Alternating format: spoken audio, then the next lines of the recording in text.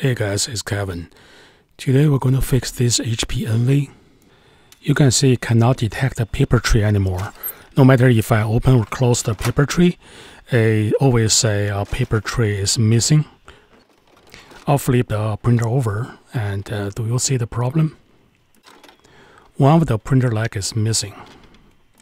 There should be another leg right here there's only one leg that's important. That's what I call the pointy leg. It's like a pointy.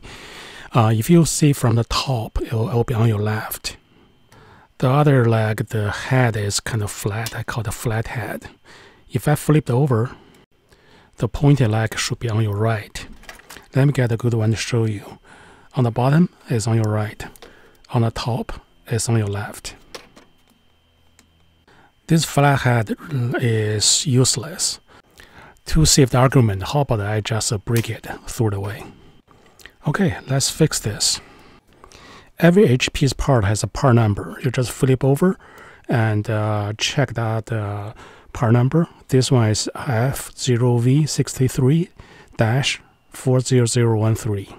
I mentioned this because it may be compatible to other printer models. You might in a different country, you have a different model number, and just make sure this part number is exactly the same we'll go to bchtechnologies.com and then we go to printer parts.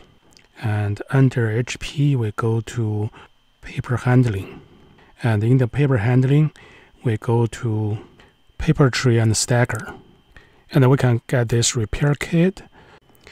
I'll put the link to the kit above. I'll put the printer upside down and then I slide open the paper tray I put a piece of uh, masking tape to remind me where to install the leg. You can see this part of leg is really thin and is transparent. That's going to help us to line up with the grid. Take a closer look, you can see where the leg broke off, kind of stem of the leg. Uh, if it wasn't bring up clear cleanly, you might just get a knife, uh, just trim it a little bit. Again, the groove of the new leg should line up with the grid perfectly. And uh, it's the semi-transparent, so you can you can see where where your uh, groove is. Uh, now you can get some piece of tapes. The first piece is uh, secured on the top, and then get a piece on the left and a piece on the right. Make sure everything is flush. Then you can close the paper tray. Make sure the tray insert smoothly. If it is not, uh, find out where the obstruction is, then correct it.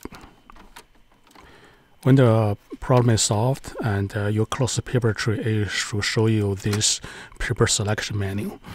Okay, I hope you enjoyed this video. Visit us at www.bchtechnologies.com locally, Greensboro, North Carolina. Cheers!